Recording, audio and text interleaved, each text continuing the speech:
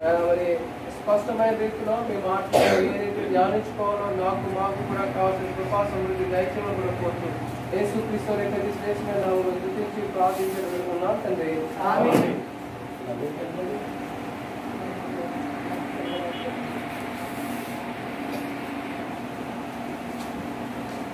నాకంటే పెద్దలు మీకు నేను వాక్యం చెప్పలేదు అనుకోండి అందుకే నేను ఎప్పుడు ఇంట్లో కూడా మరి వాక్యం అందుకే ఫ్యామిలీ పేర్లు కూడా నేను మాట్లాడాను అయితే కొంత మార్కులు చూద్దాం. కీర్తనలో అరవై మూడో అధ్యాయం.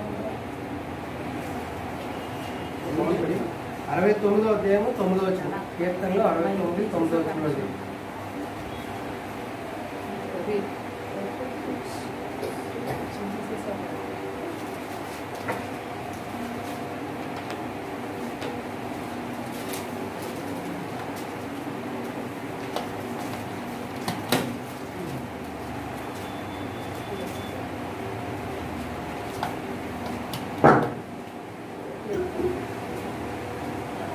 కీర్తనలు అరవై తొమ్మిది తొమ్మిది. సంఘానికి అయితే బాగుండేది. నీ నీటిని కూర్చున్న ఆసక్తి నన్ను భక్షించి ఉన్నది దావీదు ఆ యొక్క మాటలు ఈ మాటలో నా తలంపు ఏంటంటే ప్రభు పట్ల ఆసక్తి లేకపోతే దేవుడి యొక్క వాక్యం పట్ల లేకపోతే ఆయన యొక్క ఇంటి మీద ఆసక్తి అనే దాని గురించి ప్రభుత్వ తలంపులు పంచుకున్నాను. దావిది అంటాడు నీటిని గురించిన ఆసక్తి నన్ను భక్షించున్నది. తర్వాత చదువుతాను చూడండి అరవై మూడో అధ్యాయం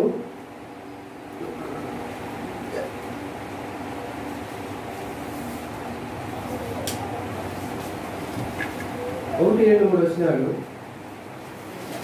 దేవా నా దేవుడు నీవే వేగునే నిన్ను పెరుగుదును నీ బలమును నీ ప్రభావంలో చూడవల్లని పరిశుద్ధాలయమందు నేనెంతో ఆశతో నీ తట్టు కనిపెట్టి ఉన్నాను నేను లేక ఏంటి దేశమందు నా ప్రాణము నీ కొరకు కృష్ణకుని ఉన్నది. నీ మీద ఆశ చేత నిన్ను చూడవల్లని నా శరీరము కృషించుచున్నది.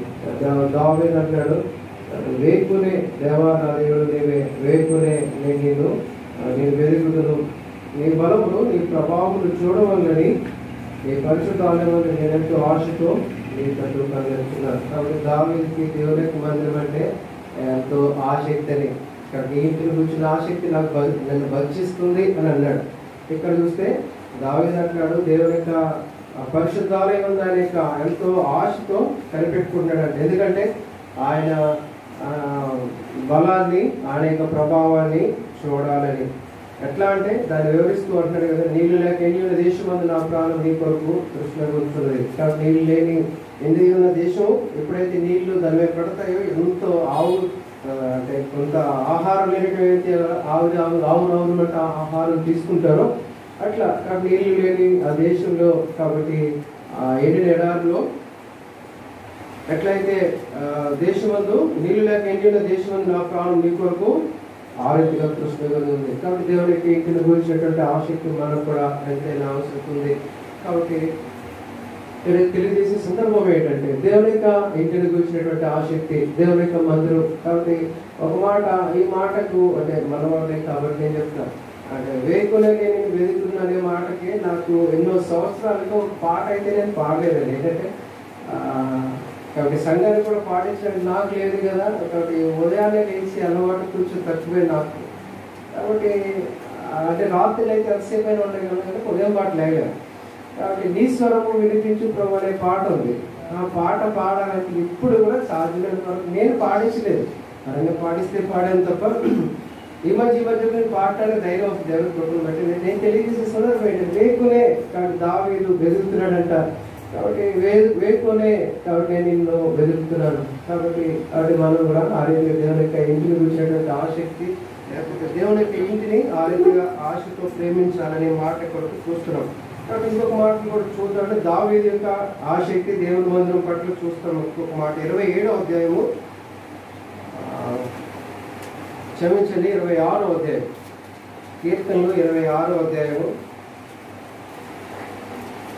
ఆరో వచ్చిన ఇది కూడా దావీదు రాసిందే.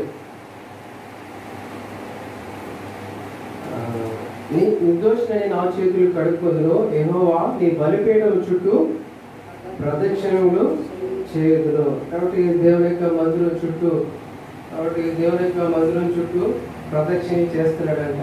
అంటే దేవుని యొక్క అనగా కాబట్టి ఆశ కానీ ఏంటంటే తాను దావీదు కూడా ఒక రాజు ఒకవేళ ఆశ ఈ కీర్తన రాసే సమయానికి బహుశా అతను రాజుగా కాకపోయినా బహుశా అది యొక్క సందర్భం అయితే మనకు తెలియదు కానీ దావీదుకున్నటువంటి ఆశ మనం చూస్తాం కదా కాబట్టి తాను దేవుని యొక్క మందిరం చుట్టూ ఆ బలిపేట చుట్టూ ప్రదక్షిణ చేసేటువంటి వాడని మనం కూడా దేవుని యొక్క మందిరం చుట్టూ ఆ రీతిగా ప్రదక్షిణలు. అలాగే మాటను నేను ఎక్కువగా యవనస్తులకు ఈ మాటలు ఎట్లప్పుడే తెలియజేయాలనుకునే తలంపు ఏంటంటే దేవుని యొక్క మందిరం పట్ల ఆ రీతిగా ప్రదక్షిణలు చేయడం లేదా దేవుని యొక్క మందిరం అంటే కాబట్టి అంటే దావేదికు అంటే ప్రదక్షిణ అంటే కాబట్టి ఎప్పుడు చూసినా దాని చుట్టూనే తిరుగుతున్నారంట. కాబట్టి దావేది ఆశ అప్పటికి ఇంకా దావేది కాలంలో ఒక మందిరం ఇంకా నిర్మించబడలేదు. తన యొక్క కుమారుడు సులోమోన్ వచ్చిన తర్వాత కదా కాబట్టి దావేదు కాబట్టి మందిరాన్ని సారీ సులోమోన్ మందిరాన్ని నిర్మించి అప్పటి వరకు దేవుని గుడారాల్లో ఉంది. కానీ దావీదుకున్నటువంటి ఆశను మనం చూస్తాం. దేవుని యొక్క మందిరం దేవుని యొక్క మందిరం పట్ల తనకున్నటువంటి ఆసక్తి నీ ఇంటిని కూర్చున్నటువంటి ఆసక్తి నన్ను భక్షిస్తుంది. ఎలా? నీ యొక్క మంది పరిశుద్ధాలయం తట్టు కాబట్టి దావీదు అరవై మూడవ అధ్యాయంలో ఆయన అన్నాడు కదా కాబట్టి ఆయన ఏమన్నాడంటే కాబట్టి నీ పరిశుద్ధాలయం ముందు నేను ఎంతో ఆశతో కనిపెట్టుకున్నాను కారణం ఏంటంటే ఆయన యొక్క బలాన్ని ఆయన యొక్క ప్రభావాన్ని చూడాలని దేవుని గురించి తెలుసుకోవాలన్నా ప్రభువు గురించి కాబట్టి ఇక ఒక మాట ఇక్కడ తెలియజేయాలని కోరుతున్నాడు. దేవుని యొక్క మందుల పట్ల ఎందుకంత ఆసక్తి అంటే దేవుని మందుల్లోకి వెళ్ళి ఆయన యొక్క బలాన్ని గురించి తెలుసుకోవాలని ఇంట్లో కవదా దేవుడు మనతో ఉంటాడు. అదే సందర్భంలో దేవుని యొక్క మందుల్లో ఆయన వాకింగ్ ద్వారాను దేవుని యొక్క సన్నిధి అనిపించడం ద్వారా కాబట్టి దేవుడు తత్వం మనతో మనతో మాట్లాడతాడు. ఈ సందర్భాన్ని ఒకసారి మరలా వెనక్కి వెళ్తున్నాను. కాబట్టి దేవుని యొక్క పరిశుద్ధాలయం నేను ఎంతో ఆశతో కనిపెట్టుకున్నాను. కారణం ఏంటి? ఆయన యొక్క బలాన్ని చూడాలని ఆయన యొక్క ప్రభావాన్ని చూడాలని. ఒక మాట నీకు సందర్భాన్ని కూడా చూద్దాం. దేవుని యొక్క మందుల్లోనైనా ఒక సందర్భంలో దావిదికి నిరుత్సాహం వచ్చినటువంటి పరిస్థితులు ఆయన అంటాడు కదా. ఎందుకు నేను పరిశుద్ధత కలిగి ఉండటం వల్ల నాకు వచ్చినటువంటి లాభం ఏంటి? నాకంటే భక్తిహీనులే ఎంతో క్షేమంగా ఉన్నారు కదా? నాకంటే భక్తిహీనులే వాళ్ళెంతో వాళ్ళెంతో బాగున్నారు కదా? అని అన్నటువంటి సందర్భంలో తనకెంతో ఆయాసం వచ్చిందంట. అప్పుడు అతను ఎక్కడికి వెళ్ళాడనే మాట చదువుదాం. ఆ మాట ఇప్పుడు మనకి అవసరం. చూడండి ఆ మాట.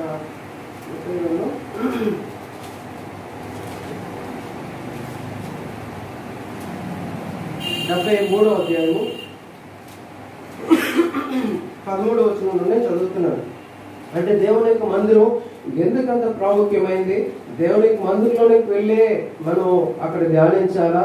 లేక దేవుని యొక్క మందిరంకి వెళ్ళే మనం అనేక విషయాలు తెలుసుకోవాలా? మన ఇంట్లో కాదా అంటే ఇంట్లో దేవుడు మనతో మాట్లాడతాడు. అదే సందర్భంలో దేవుడు తన యొక్క మందిరాన్ని మనం మనకు ఉంచాడు కాబట్టి అక్కడ దేవుని యొక్క సన్నిధి అనిపించేదానికి లేకపోతే పరిశుద్ధుల యొక్క సహవాసాన్ని అనుభవించేదానికి అదే కాకుండా ప్రభు మనతో కాబట్టి మాట్లాడేసినటువంటి స్థలం అని అలాగే మనం ఈ స్థలం ప్రార్థన మందిరం అనబడుతుంది. ఈ మందిరం ప్రార్థన మందిరం అనబడును అని వాక్యం దేవుని యొక్క మందిరానికి ఎంతో ప్రాధాన్యత ఇచ్చినట్లుగా చూస్తాం. సరే ఇక్కడ చదువుతున్న చూడండి. దావీదు ఒక సందర్భంలో నిరుస్థలం వచ్చినప్పుడు డెబ్బై మూడు పదమూడు. నా హృదయమును నేను శుద్ధి చేసుకుని వ్యర్థమే నా చేతులు కడుక్కొని నిర్మాణుడునై ఉండుట వ్యర్థమే. దినమంతే నాకు బాధ కలుగుతుంది. ప్రతి ఉదయం నాకు శిక్ష వచ్చుచున్నది. ఇలాగూ ముచ్చటించునని నేను అనుకునే ఎడల నేను నీ కుమారుల వంశం మోసపుచ్చేవాడవును అయినను దీన్ని తెలుసుకున్నాను ఆలోచించినప్పుడు నేను పరిశుద్ధ స్థలంలోని పోయి వారంతా గురించి ధ్యానించే వరకు ఆ సంగతి నాకు ఆయాస్కరంగా ఉంది. కాబట్టి నేను పరిశుద్ధ స్థలానికి వెళ్ళి అక్కడ ధ్యానిస్తున్నాను. అప్పుడు నాకు ఆయన యొక్క దాని యొక్క భావం ఏంటో నాకు తెలియజేశారు. దేవుని యొక్క మంత్రం ఎంత ప్రాముఖ్యమైందో. కాబట్టి మనకి యొక్క నెమ్మది లేనటువంటి పరిస్థితుల్లో లేదా మన యొక్క అవసరం కొరకే ప్రార్థించేది కాబట్టి ఒక దేవుని యొక్క మందిరాన్ని ప్రభు మనకు ఉంచాడు. కాబట్టి దావీదికి తన యొక్క హృదయంలో నెమ్మది లేదు. కాబట్టి నాకంటే భక్తిహీనులే బాగున్నారు కదా. తాను ఇల్లు ఏం చేశాడంటే దేవుని మందిరంలోకి వెళ్ళి ప్రార్థిస్తున్నాడు. ధ్యానిస్తున్నాడు. వారి అంతా గురించి ఏమవుతుందని ప్రార్థిస్తున్నాడు. పరిశుద్ధ స్థలంలో పోయి వారంతా గురించి నేను ధ్యానించే వరకు ఆ సంగతి నాకు ఆయాసకరంగా ఉంది. కాబట్టి ఇప్పుడు అప్పుడు తర్వాత నిశ్చయంగా పద్దెనిమిది వచ్చినప్పుడు దేవుడు తనకు తెలియజేసి నిశ్చయంగా నువ్వు వారిని కాలు జారి చూడనే ఉంచున్నావు. కాబట్టి వాళ్ళు నశించు వారిని పడవేచ్చు కాబట్టి దేవునికి మందులోకి వెళ్ళి తన యొక్క విషయం ఏంటో తెలుసుకున్నాడు.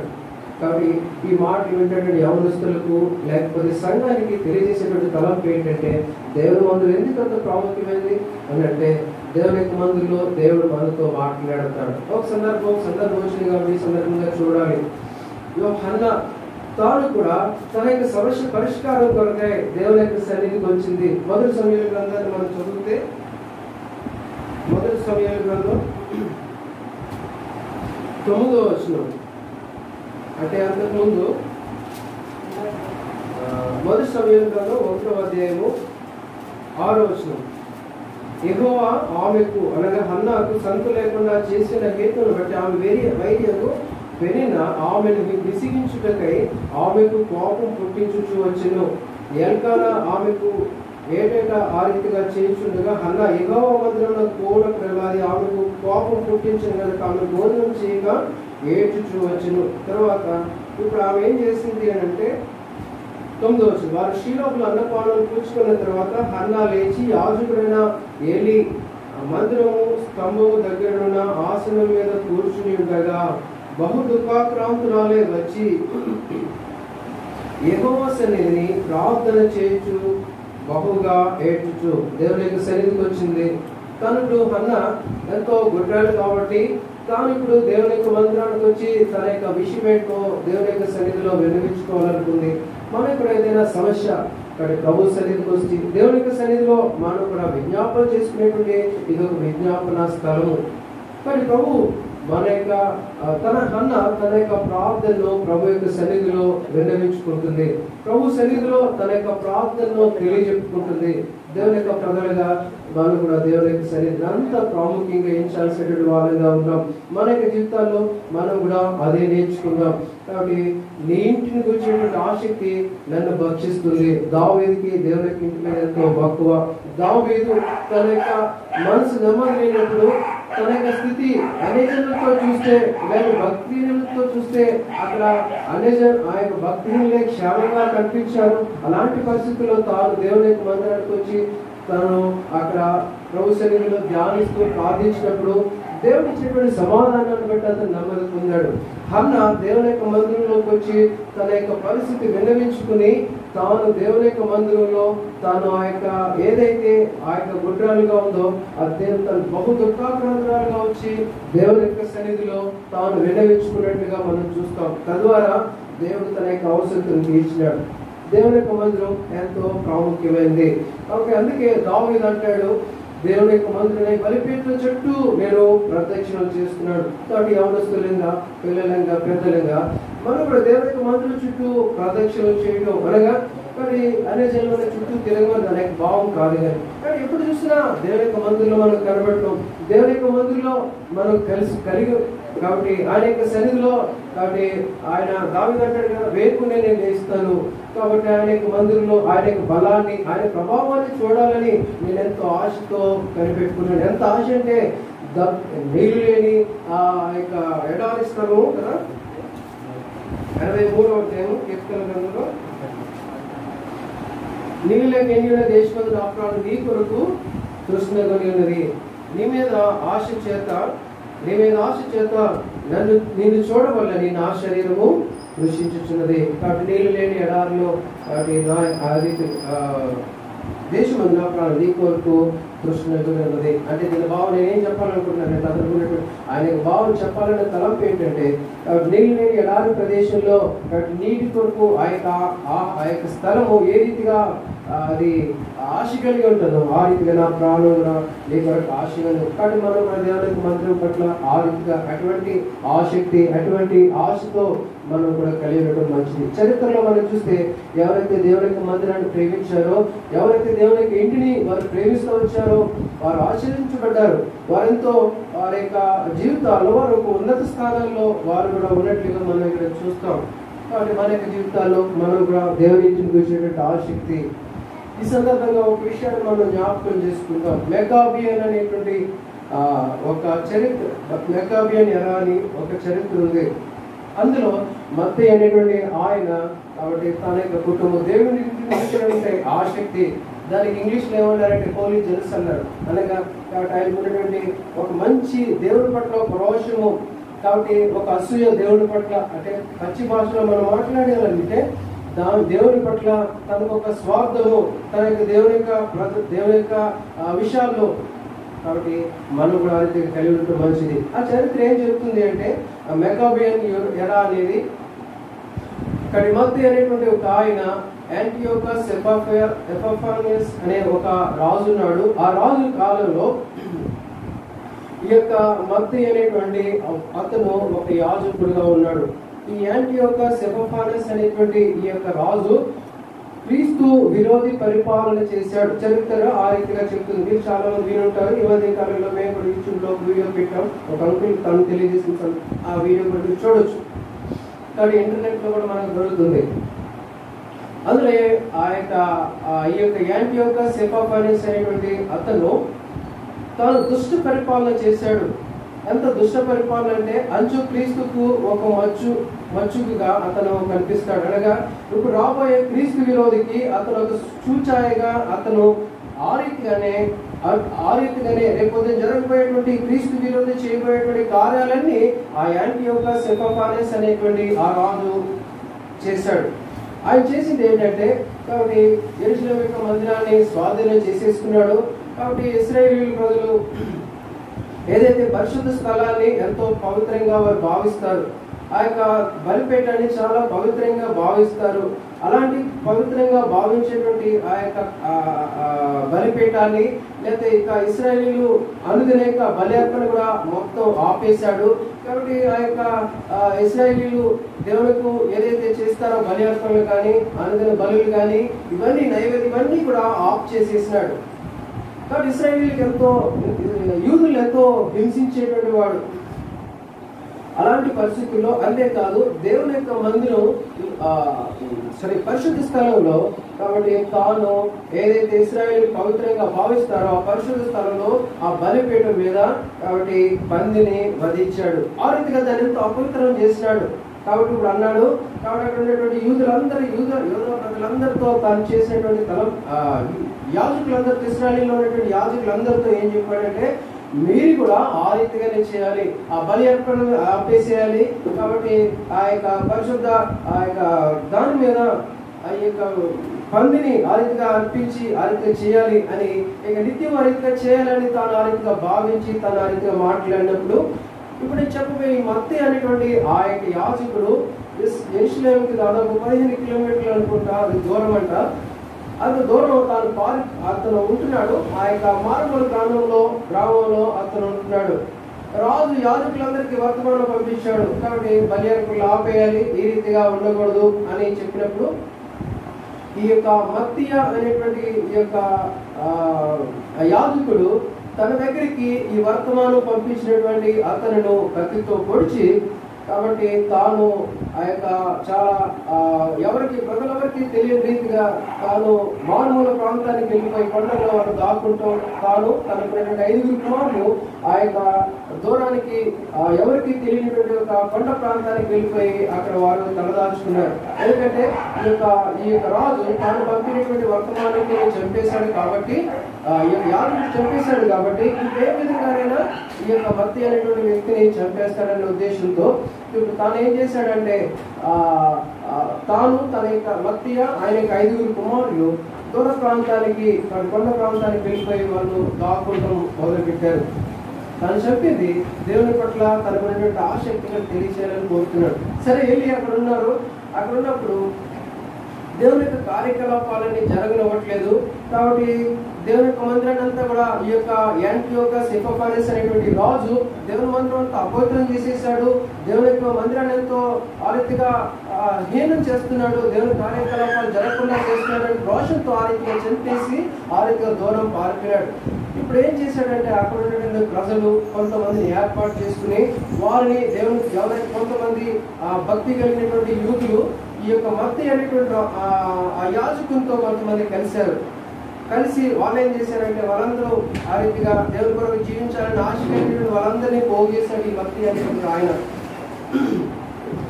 చేసి తర్వాత తను ఏం చేశాడంటే మరి సడన్గా ఈ యొక్క యాంటీ యొక్క సెఫిపాస్ అనేటువంటి ఈ యొక్క రాజు మీదకి దండె తెచ్చేవారు గెరిల్లా యుద్ధాలుగా క్షణాలు ఇలా పనిచేసి కొంతమందిని చంపేసేయడం వెళ్ళిపోవడం. ఆ రీతిగా మళ్ళా కొంత మరలా సడన్గా రావడం చంపేసేయడం వాళ్ళు మళ్ళా పారిపోవటం. అట్లా. కాబట్టి రాజుకి నెమ్మది లేకుండా చేశారు. గెరిల్లా యుద్ధం అని అని దాన్ని అంటారట. అయితే ఈ రాజుకి నెమ్మది లేకుండా చేశారు. కాబట్టి అట్లా ఉన్నప్పుడు కాబట్టి ఏం చేశాడంటే ఇక అట్లా కొంచెం తనకి ఉండిపోతే జనం పెరుగుతూ వచ్చారు మత్తి అనేటువంటి ఆయనకి. తనకున్నటువంటి ఆశ ఆశల్లో ఒకటే. దేవుని కార్యకలాపాలు ఆగిపోయి ఆగిపోయినాయి. ఈ రాజు దైవ విరుద్ధంగా ప్రవర్తిస్తున్నాడు. కాబట్టి నేను ఆ యొక్క రాజు చెప్పినట్లుగా మేము చేయమని చెప్పి తాను ఆ రీతిగా దేవుని పట్టినట్లు అతనికి ఉన్నటువంటి ఆసక్తి అది. ఇప్పుడు అతను ఏం చేసి ఆవిడ వారందరూ కూడా ఆఖరికి దాదాపు కొన్ని సంవత్సరం అయితే గుర్తులేదు. ఆ రాజు మీద పూర్తిగా దండెత్తి ఎంతో గొప్ప సమూహంగా రాజు మీదకి వచ్చినప్పుడు ఆ రాజు అక్కడ నుండి పారిపోవడం జరిగింది. మరలా తిరిగి అప్పుడు ఈ మత్తయి అనేటువంటి యొక్క ఆయన తనకు ఉన్నటువంటి ఆ యొక్క ఐదుగురు కుమారులు కాబట్టి యోధ అనేటువంటి ఒక ఆ, కుమారుడు ఎంతో ఈ యొక్క వీళ్ళందరినీ పోగేసి కాబట్టి దేవుని కొట్టే ఆ రీతిగా వారందరినీ కూడా సమకూర్చాడు. తన యొక్క కుమారులు ఒక పెద్ద ఒక కుమారుడు. ఆ రీతిగా మరలా ఈ దేశానికి రాజును పారద్రోలి ఈ యొక్క ఇస్రాయిల్ అందరినీ కూడా ఐక్యపరిచి దేవునికి మందిరాన్ని అంతటినీ కూడా పరిశుద్ధపరిచి దేవుని యొక్క మందిరంలో కాబట్టి మరలా తిరిగి అనుదిన పనులు జరిగినట్లుగా కాబట్టి ఆ యొక్క ఆ, రీతిగా ప్రారంభించడం మొదలు పెట్టాడు అది చరిత్రలో కాబట్టి ఎంతో ప్రాముఖ్యమైనది. అందుకే నేటికి కూడా మెకాబియన్ ఎరా అని దాన్ని ఎంతో పిలుస్తారు. ఒక దిన కొన్ని దినాలు ఆ రీతిగా ఇస్రాయేలీలు దాన్ని ఆచరిస్తారు. అందుకే మనం యోగాను సువార్తలో కూడా ఒక మాట చరిత్ర ఈ రీతిగా చెప్తుంది అని మాట్లాడతారు. దానికి ఒక మాట ఏంటంటే ప్రభువు కాబట్టి ఒక మాట చరిత్రలో చూడండి. యోహాను సువార్త అండి ప్రభు యోహాను సువార్తలో ఆలయ ప్రతిష్ట పండుగ పదకొండు పదవ అధ్యాయము యోహాను సువార్త పదవ అధ్యాయం ఇరవై రెండవ వచ్చినలో యేసు వారు ఆలయ ప్రతిష్ట పండుగకి అక్కడికి వెళ్తారు ఆలయ ప్రతిష్ట పండుగకి వెళ్తారు. దాన్నే మెకాబియన్ ఎరా అంటారు. మెకాబియన్ పండుగ అని చెప్పేసి దాన్ని పిలుస్తారు. సరే నేను చెప్పాలనుకునే తలంపు ఏంటంటే మత్తి అనేటువంటి తాను రాజుని ఎదిరించి కాబట్టి రాజు ఏదైతే ఆ యొక్క దేవుని యొక్క మందిర కార్యకలాపాలన్నీ కూడా ఆఫ్ చేసేసాడో వాటిని మరలా తిరిగి ప్రతిష్ఠించాలి.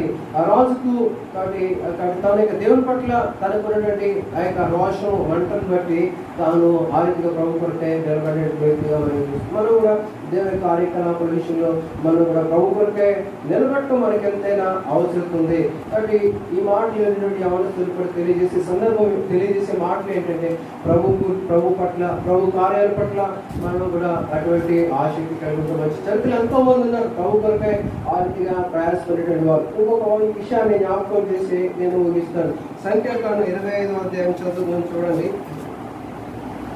సంఖ్యాకాండం ఇరవై ఐదు అధ్యాయము ఆరో వచనం నుండి చదువుదాం. ఇదిగో మోసే కన్నుల ఎదుటను ప్రత్యక్ష గుడారం యొక్క ద్వారం ద్వారం యొక్క ఏడ్చుచుండిన ఇస్రాయిల్ సర్వసమూహం కన్నులు ఎదుటను ఇస్రాయిల్ ఒకడు తన సహోదరుల ఎదుటకు ఒక నిత్యాన్ని స్త్రీని కొడుకుని వచ్చును. యాజకుడైన ఆహరోను మనవాడును ఎలియాజును కుమారుడునైన అయిన పీనిహాసును చూచి సమాజం నుండి లేచి వీటిని చేత పట్టుకుని పడగ చోటికి ఆ ఇస్రాయేలీ వెంబడి వెళ్ళి ఆ ఇద్దరిని అనగా ఆ ఇస్రాయేలీని ఆ స్త్రీని కడుపులో ఉన్న దూసుకున్నట్లు పొడిచను అతను ఇస్రాయేలీలో నుండి అప్పుడు ఇస్రాయేలీలో నుండి తెగులు నిలిచిపోయాను. ఆ ఇరువది నాలుగు వేల మంది ఆ తెగులు చేత చనిపోయింది అప్పుడు ఎక్కువ మోసకి ఇలా సెలవిచ్చిన యాజకుడైన అహరోన్ మనమను మిర్యాదు కుమారుడైన తినిహాసు వారి మధ్య నేను ఓరలేని దాని తాను ఓరలేకపోవడం వలన ఇస్రాయేల్ మీదను మీద నుండి నా కోపం మళ్ళించిన కనుక నేను ఓరలేకుని ఇస్రాయేల్ దేశంలో చేయలేదు. కాబట్టి నీ అతనికి లాచుకు ఇట్లను అతనితో నేను నా సమాధాన నిబంధనను చేయించున్నాను. అది నిత్యమైన యాజక నిబంధన కాదు అతని అతని సంతానం కలిగినను వేలయేలుగా అతడు తన దేవుని విషయమందు ఆసక్తి గలవాడే ఇస్రాయేల్ నిమిత్తము ప్రాయచిత్తము చేసిన. ఇక ఇక్కడ సందర్భంలో మనం చూస్తాం ఫీనేహాసు అక్కడ ఇస్రాయేల్ ప్రజలు సిద్ధిలో దిగినటువంటి పరిస్థితుల్లో మోయాబులో మరి వారందరూ కూడా పాపం చేస్తూ వచ్చారు. అయితే అక్కడ ఎక్కువ మాట్లాడలేను కానీ అసలు మోయాబులో వాళ్ళు మోయబ్రాలతో పాపం చేశారు. వాళ్ళు అన్నారు ఆ యొక్క స్త్రీతో వారు వ్యభిచారం చేశారు పాపం చేశారు. అదే సందర్భంలో ఆ స్త్రీలు తమ యొక్క తమ యొక్క దేవతల పనులకు ఈ ప్రజలను పిలిస్తే వీళ్ళు వెళ్ళారు భోజనం చేశారు. తర్వాత ఏం జరిగిందంటే ఆ, వాటికి నమస్కరించడం ద్వారా జరిగింది. ఇక్కడ నేను ఎక్కువ మాట్లాడటం కానీ వాళ్ళ యొక్క వయం స్త్రీలతో వాళ్ళు వ్యభిచారం చేయటం వ్యభిచారం అనే పదం కూడా స్పష్టంగా మాట్లాడాల్సిందే. దానికి బదులు కొద్ది దినాల క్రితం పాపం అనేటువంటి పదం ఎందుకు వాడకూడదు? కొంచెం అభ్యంతరకరంగా ఉంది కదా స్త్రీలు ఉంటారు అట్లా అందరూ ఉంటారు కదా అనుకున్నాం కానీ విలిగ్రహంగా కూడా ఒక మాట్లాడాడు పాపం ఖండించే విషయంలో పాపం పాపంగానే చెప్పాలి. కాబట్టి అయితే తలపేటట్టే ఇంకా అక్కడ అక్కడ వాళ్ళు పాపం వాళ్ళు వ్యభిచారం చేసి చేశారు. ఆ సందర్భంలో కాబట్టి ఇప్పుడు వాళ్ళతో స్నేహం ఏర్పడింది కదా ఇప్పుడు వాళ్ళ భార్యలు లేక ఆ స్త్రీలు వాళ్ళు బరులకు సరే వాళ్ళ యొక్క దేనికి పిలిచారండి? ఆ బరులకు ప్రజలు పిలిచారు. ఇప్పుడు వాళ్ళు వెళ్ళారు కాబట్టి లోక స్నేహమే కాబట్టి యాకోబు యాకో పత్రిక ఆ, నాలుగవ దేవు నాలుగో వచ్చినలో ఈ లోక స్నేహమే దేవునితో వైరం అన్నాడు. అది ఒక వ్యభిచారంగా పాపంగా ప్రభు చిత్రీకరించాడు. కాబట్టి లోకంలో ఉండొద్దని నేను కోరుకోవట్లేదు. అదే యోహాన్ స్వార్థ పదవ దేవుడు అంటాడు. కానీ ప్రభా నేను వీరి లోకంలో ఉండొద్దని నేను కోరట్లేదు. కానీ దుష్టి నుంచి కాపాడు. కాబట్టి దుష్టి నుంచి కాపాడబడాలి. కాబట్టి వారితో లోకంతో స్నేహం చేసి మనం కూడా కాబట్టి వారి చేత ప్రేరేపించబడతాం కదా. ఇప్పుడు వీళ్ళు చేయబడింది అదే. కాబట్టి వాళ్ళు బరులకు పిలువుగా అందుకే సామెతల గ్రంథం ఒకటో అధ్యాయం ఏమంటాడంటే దుష్టుల్ని పిలువగా ప్రేరేపించగా ఒకటో అధ్యాయము అనవచ్చు నాకు మాట పాపు నేను ప్రేరేపింపగా ఒప్పకము. తర్వాత మాతో మాతో కూడా మన ప్రాణం తీయటకే కొంచెం నిర్దోషణ పడుతున్న దాగి ఉందాము అంటే అది బహుశా అది ఆ యొక్క నరహత్య కొరకే కాకపోయినా పాపం నిన్ను ప్రేరేపిస్తారు. లోపల నిన్ను నన్ను ప్రేరేపిస్తారు వాళ్ళతో సహవాసం చేశాం కదా అన్ని సహవాసం చేసి స్నేహం ఎక్కువైంది. ఇప్పుడు వారి యొక్క పండుగలకు మనం వెళ్ళకపోతే వాళ్ళు చిన్నపుచ్చుకుంటారే కదా? తప్పదు వెళ్ళాల్సి వస్తుంది. వెళ్ళిన కాడి నుంచి కాబట్టి వాటిని వారితో కలిసి భోజనం చేయాల్సి వస్తుంది. నమస్కరించినట్టుగా ఇక్కడ మనం చూస్తాం. ఇక్కడ మీరు కూడా చేసింది అదే. వాళ్ళు ప్రేరేపించారంట వాళ్ళు కాబట్టి వాళ్ళు వెళ్ళారు. వెళ్ళటమే తప్పు. వాళ్ళతో భోజనం చేశారు. కాబట్టి తర్వాత నమస్కరించినట్టుగా చూస్తాం. కాబట్టి నేటి దినాల్లో కాబట్టి అది చాలా తప్పుగా మనం జ్ఞాపకం చేసుకోవాలి. అది నాకు తెలిసి అంటే నాన్నగారి పరిచయ వాళ్ళు లేదా పాత కాలంలో వాళ్ళు చెప్పేటువంటి అనుభవాలు నేను కొన్ని మాటలు జ్ఞాపకం చేసుకుంటే సువార్తలకు వెళ్తున్న సందర్భంలో కూడా అన్ని జనులు కాబట్టి నాకు తెలిసి అక్కడ ఒక దైవజనుల పేరైతే జ్ఞాపకం లేదు కానీ వాళ్ళు అన్ని జనులు సువార్తకి వెళ్తున్నారు. దాహం నీరు ఆగు నీరు లేక అనగా దప్పికి చేత సమస్యలు పడిపోయారు. పట్టుకొచ్చిస్తే అన్ని జనులు నీళ్ళు కాబట్టి వాళ్ళు మీద తాగము కాబట్టి వద్దు కాబట్టి దాన్ని వ్యతిరేకించారు. కాబట్టి వాళ్ళు ఒక పరిశుద్ధ జీవితం జీవించడానికి అన్ని జనులతో స్నేహం లేక మరణజనులతో వారి యొక్క చేతి వంటలో లేక వారి యొక్క విషయాలు తీసుకుంటా కూడా వాళ్ళు ఆ రీతిగా ఇష్టపడేవారు కాదట. కానీ జ్ఞాపకం చేసిన సందర్భం ఏంటంటే అదే జనులతో నేటి దినాల్లో స్నేహం ఎక్కువైపోయింది కదా. కాబట్టి వారితో భోజనానికి వారు వెళ్ళారు. కాబట్టి తర్వాత అటు నమస్కరించడం జరిగిపోయింది. కాబట్టి దేవుని యొక్క కోపం ఇక్కడ ఇస్రాయేల్ ప్రజల మీదకి ఎక్కువైపోయింది. ఈ సందర్భంగా ఒక మాట జ్ఞాపకం చేసుకోవచ్చు. కాబట్టి మొదటి కొరింది రాసిన పత్రిక అనుకుంటా. కాబట్టి అక్కడ ముఖ్యంగా నేను వచ్చినట్టు మొదటి కొరింది రాసిన పత్రికలోనే ఆరో అధ్యాయం మొదటి కొరింది రెండో కొరింది ఆరో అధ్యాయం. మీరు అవిశ్వాస కథలు మీరు అవిశ్వాసంతో జోడుగా ఉన్నప్పుడు నీటికి దుర్నీతితో ఏమి సాన్నిధ్యము వెలుగులకు చీకటితో ఏమి సంబంధము? కృష్ణ వెలియాలతో ఏమి సంబంధము? అవిశ్వాసతో విశ్వాసికి పాలెక్కడిది? అవిశ్వాసతో విశ్వాసికి పాలెక్కడిది? కాబట్టి నీకు నాకు వాళ్ళ అన్నిజనులకు మనకు సహవాసం ఏ రీతిగా కుదురుతుంది? ఉదాహరణకు ఆలోచిస్తే మన భాష వేరు మనం వారితో అంత స్నేహపూర్వకంగా మాట్లాడలేము. మన భాష మన ఆత్మీయత మన దైవత్వం వాళ్ళకి అర్థం కాదు కదా. ఉదాహరణ ఉదాహరణ ఉదయం నా స్నేహితుడు ఫోన్ చేశాడు. తను అంటాడు తన తమ్ముడు అని నీతో మాట నేను చెప్తాను. అంటే ఇది మన వరకు మొదలు కదా నేను చెప్తున్నాను. సంఘాలు కూడా అవసరమే. కానీ నువ్వు జాబ్ కూడా చేసుకుంటూ నీ పని అంతా నువ్వు చేసుకుంటూ జాబ్ చేసుకోవచ్చు కదా. అటు వాళ్ళకి తెలియదు కదా వాళ్ళకి అర్థం కాదు కదా. కాబట్టి గౌరవానికి గౌరవం ఉంటుంది. చూడండి డబ్బు నీకు ఇబ్బంది ఉండదు ఉండదు కదా. కాబట్టి పగలంతా లేదా నువ్వు ఉద్యోగం చేసుకుని ఉద్యోగానికి ముందు తర్వాత వచ్చి నువ్వు అందుబాటులో ఆరోగ్యంగా ఉండొచ్చు కదా. డబ్బు ఉంటుంది. లేకపోతే తర్వాత ఆ యొక్క సమాజంలో గౌరవం కూడా అని అన్నాను కాబట్టి డబ్బు గురించి అయితే నేను కూడా ఎంతో కొంత చదువుకున్నాను కదా. కాబట్టి చదువుకుంటే ఎంత చేతి పని లేదా ఎంత ఊర్చే జాబ్ అయినా కనీసం ఒక పదివేలు ఇరవై అట్లయినా ఒక పదివేలైనా మనం సంపాదించుకోలేమా? లేకపోతే అని ఉదాహరణ చెప్తున్నాను కాబట్టి కాబట్టి అది కాదు మా యొక్క సహవాస పద్ధతి. మేమేది కూడా దేవుడు కాబట్టి దేవుడు యొక్క కొరకే మేము వచ్చాం. కాబట్టి దేవుడు మనం పోషిస్తాడు. అదే సందర్భం దేవుడు ఏది కూడా తక్కువ చేయడు. కాబట్టి మన భాష వాళ్ళకి అర్థం కాక గౌరవ గౌరవం గురించి భూమి మీద మేము రాలేదు. గౌరవ దేవుడు తక్కువ చేయడు. అదే సందర్భంలో భూమి మీద కంటే మా పరలోకంలో అక్కడ బహుమానాలు ఉంటాయి. దాని కొరకే మేము ఆశతో వస్తాం ప్రాణాలు క్రైస్తులు ప్రాణాలు అర్పించేది. లేదు ఇవన్నీ కూడా దాని కొరకే రాని జ్ఞాపకం చేశారు కాబట్టి వరకు ఆమెకు అర్థం కాదు. కాబట్టి కాబట్టి సరే సరే నేను ఉంటానని తాను ఆ పెట్టేశాను నేను ఏం చెప్పాలనుకుంటున్నానంటే మన యొక్క భాష వాళ్ళతో మనం ఎక్కువగా మాట్లాడలేం కదా. కాబట్టి ఒక క్రైస్తవుడు విశ్వాసి విశ్వాసి యొక్క భాష కలుగుతుంది.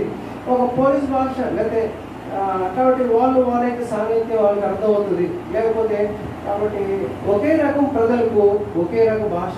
విశ్వాస విశ్వాస భాష అర్థం కాగలదు కాబట్టి అవిశ్వాసతో కాబట్టి మనకి పాలు ఎక్కడిది? దేవుని ప్రజలుగా. ఈ విషయంలో నేను అనేక సందర్భాల్లో కూడా మేము వాక్యం పెట్టి తెలియజేస్తున్నాం కదా. కాబట్టి అవిశ్వాసతో విశ్వాసకి పాలు లేదు. కాబట్టి కాబట్టి మనం ఒక మాట ఇక్కడ చూద్దాం చూడండి. అట్లు ఇస్రాయేలీలు బయలుపేరు ఎవరితో? ఇరవై ఐదు.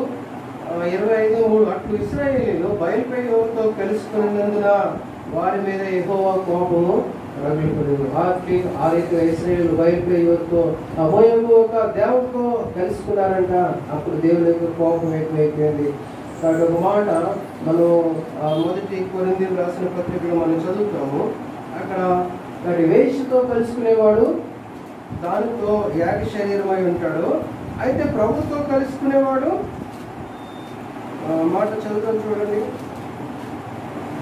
ఆయనతో ఏకాత్మయే ఉన్నాడు. మొదటి కొరింది ఆరో అధ్యాయం పదిహేడు వచ్చిన మొదటి కొరింది ఆరో అధ్యాయం పదిహేడు వచ్చిన అటువలే ప్రభుత్వం కలుసుకునేవాడు ఆయనతో ఏకాత్మయే ఉన్నాడు. ఆ ఇస్రాయేల్ ప్రజలు బయలుపేరు యువతతో కలిసిపోయారు. కానీ దాంతో ఏకాత్మ అయిపోయారు. ఇక్కడ మనం చదువుతాం వేషతో కలుసుకునే వేష. దాంతో ఇదే ఒక దైవ సంబంధమైన వ్యక్తి ప్రభుత్వం కలుసుకునేవాడు ప్రభుత్వం ఏకాత్మ ఉంటాడు. కానీ మనం కూడా ప్రభుత్వం తెలుసుకోవడానికి ప్రయత్ని మనం అదిగే కదా మనం మొదటి వ్యవహార వ్యవహార పత్రికలో మాట ఉంది. మన సహవాసం ఒకటో దేవుడు వచ్చిన మన సహవాసం అయితే తండ్రితో కూడాను ఆయన కుమారుడు యేసు క్రీస్తుతో కూడాను ఉన్నది. కాబట్టి మన యొక్క సహవాసం అయితే ఆయనతో తల్లితో కూడా ఉన్నది. మన సహవాసం ప్రభుతో ఉండేదానికి మనం కూడా నిర్ణయించుకుందాం. అందుకే కదా లోకంలో సాగుతుంది ఈ స్నేహితుల గురించి చెప్పు నీ గురించి చెప్తారు కాబట్టి మన యొక్క స్నేహం ప్రభుత్వం లేదానికి తీర్మానం చేసుకుందాం. కాబట్టి ఈ ఇస్రాయేల్ ప్రజలు ప్రభులు పెట్టేశారు అన్ని కాబట్టి వారు పాపం చేసినారు. కాబట్టి వారు ఆ రీతిగా కాబట్టి వారి యొక్క సహవాసాన్ని బట్టి వారు వారు పిలిచినటువంటి దాన్ని బట్టి ఆ యొక్క విగ్రహాలు పూజించేదానికి బలి అర్పించడానికి వెళ్ళారు. బహుశా రండి చూద్దరుగా అన్నారేమో కానీ మీకు అంత తెలియదు కదా రండి చూద్దరుగా అన్నారేమో కానీ వాళ్ళు వెళ్ళారు. కాబట్టి అంతేకాకుండా వారితో భోజనం చేశారు. తర్వాత అక్కడ వాళ్ళు చేసింది వారిని నమస్కరించినట్లుగా మనం చూస్తాం. తద్వారా ఎంత నష్టం ఎంత పాపం కాబట్టి తద్వారా ఆ యొక్క బయటపోయారుతో ఇక కలిసిపోయినట్టు అయిపోయింది. కాబట్టి దేవుని యొక్క ప్రజలుగా మనం కూడా మన పవిత్రతను కాపాడుకుందాం. అవిశ్వాసకి విశ్వాసతో పాలెక్కడిది? కానీ మీరు వారి మధ్య నుండి బయలువెడలి ప్రత్యేకంగా ఉండడం. కానీ మనం మన ప్రత్యేక జీవితం కలిగి ప్రయత్నిద్దాం. బహుశా వాళ్ళకు వారికి దృష్టికి మనం వెలుగుతారంగానే కనిపించినా అయితే ప్రభు దృష్టిలో వారితో ప్రశస్తమైనటువంటి వారు. కాబట్టి ఆ రీతిలో మనం కూడా ఒక ప్రత్యేక జీవితం కలిగి ఉండేదాన్ని తీర్మానం చేసుకుందాం. ప్రభుతో కలుసుకునేవాడు ఇస్రాయేల్ ప్రజలు బయలుపోయారుతో కలిసిపోయారట. అయితే మనము ప్రభుతో కలుసుకునేటువంటి వాడు మరి ప్రభుత్వ ఏకాత్మే ఉంటాడు. మన ప్రభుత్వం ఆ రీతిగా సహవాసం కలిగి ఉన్నాం ఇక్కడ కిందకి వచ్చే సందర్భంలో నేను చెప్తాను ముగిస్తాను. ఇక్కడ పీనిహాసు ఆ దినాల్లో మోషేకి మోషే అక్కడ ఆ యొక్క ప్రజలందరి మధ్య ఒక ఒక ఇస్రాయేలీయుడు మిథ్యాను స్త్రీని తాను తీసుకుని వెళ్ళి పాపం చేస్తున్నాడు. ఆ విషయాన్ని చూసినటువంటి ఈ యొక్క పీనేహాసు దాని దాన్ని వారు లేనిటువంటి వాడైపోయినాడు. కాబట్టి తను ఓరం లేక ఒక కత్తిని తీసుకుని వారిద్దరిని కడుపులో దూసుకుపోయినట్లుగా పొడిచినట్లుగా చూస్తాం. అని గొప్ప భోజనం ఉన్నాడు. అక్కడ ఉన్నటువంటి అనేక మంది ప్రజలు ఉన్నారు. అయినను వారందరి ముందు దేవుని గురించినటువంటి ఆసక్తి ఆ మాట నేను దృష్టికి కేంద్రీకరించాలని కోరుతున్నాను. చూడండి సంఖ్యాకాండ ఇరవై ఐదో అధ్యాయం. దాని గురించి ప్రభు ఏమన్నాడు కదా? నేను సహించలేను దాన్ని. ఈ ఫీనిహాసు చూడండి. ఇరవై ఐదో అధ్యాయము సంఖ్యాకాండం ఎనిమిదో వచనం. ఏడవ వచనం నుండి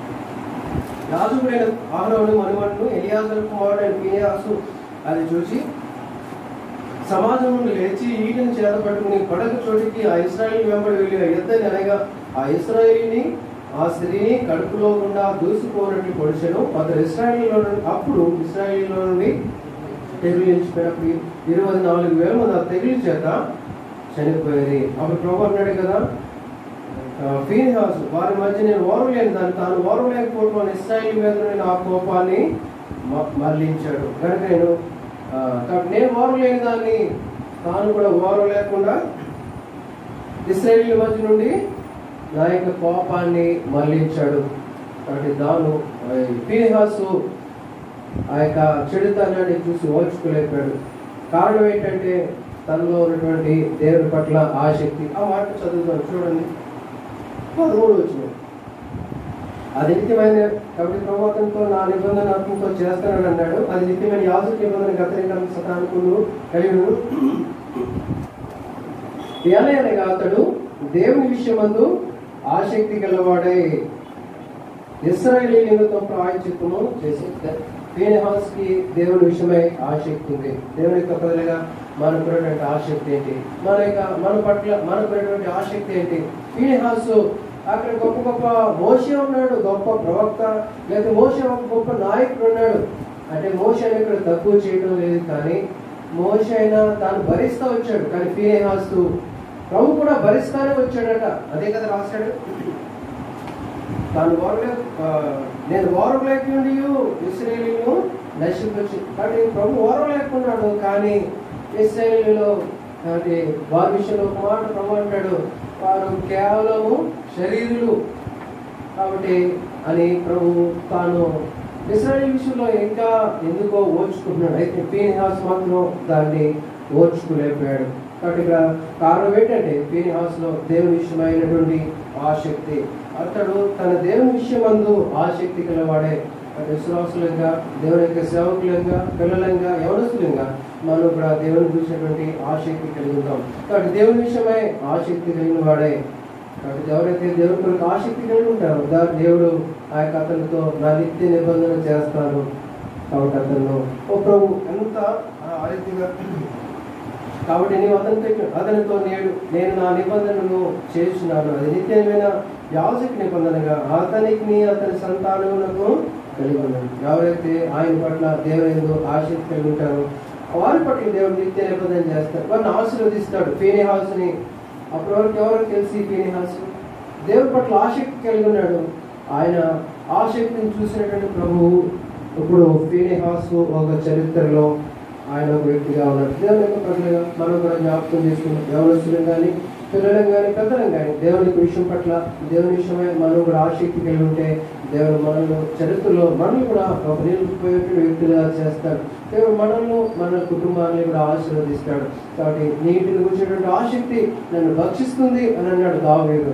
కాబట్టి ఆయన నీళ్ళు లేక ఎండినటువంటి స్థలంలో ఏ రీతిగా కాబట్టి నా యొక్క ప్రాణం ఆ రీతిగా దృష్టిగా ఉంది. పరి- పరిశుద్ధాలయం ముందు పరిశుద్ధాలయం కట్టి పరిశుద్ధాలయం ముందు నీ నేను ఎదురు చూస్తున్నాను అన్నాడు. అరవై మూడో అధ్యాయం రెండు మూడు వచ్చినాల్లో కాబట్టి మనం కూడా కాబట్టి దేవుని యొక్క మందిరాన్ని ఎక్కువగా ప్రేమించే వాళ్ళుగా దేవుని దేవుని పట్ల ఆసక్తి కలిగిన వారంగా దేవుని ఇంటి పట్ల ఆసక్తి కలిగిన వారంగా మనం కూడా జీవిస్తాం.